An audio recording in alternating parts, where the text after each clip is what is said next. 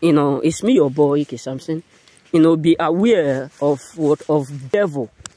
Be aware of people who are already what addicted to devil. People who have already addicted to wickedness. People who have already made up their mind to do what to be working with devil because so we, we know that uh, it's not everyone. There are those who are being misled. There are those who are being conv- convinced to be doing what they are doing. But be mindful of all.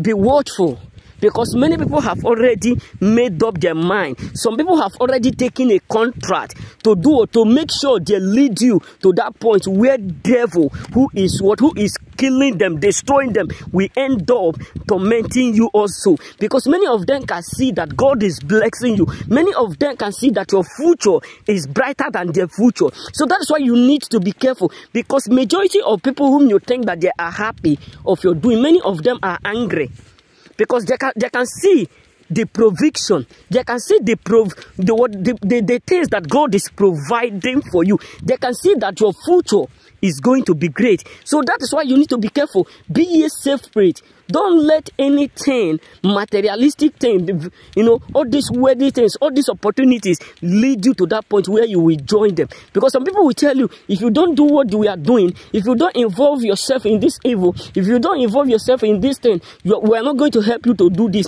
Like the way some of my friends used to tell me those days one of my friend, a lady, she tell me, if you don't join them, do all these things they are doing, they are not going to help you to look for job. They are not going to help you to seek for job. They are going to leave you. And because of that, one of our friend decide to leave because they're told, you know, they're just giving the information that the only way that I can join them to be doing their, the evil that they are doing, that I, he should leave. Then, the moment he leave, I will not see work again.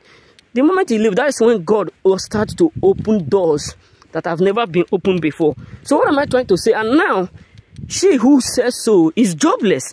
Not that I'm praying or happy that she is jobless, but the fact truth is this: be mindful, be mindful of people out there, because devil is already at work. Is looking for whom to devour.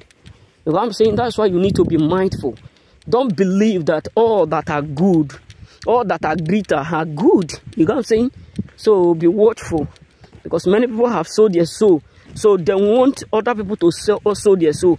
And they will never tell you what they are going to they will never allow you or give information the consequences of the evil that they are doing. You know what i'm saying? So be mindful. Don't follow them. Don't join them. May god bless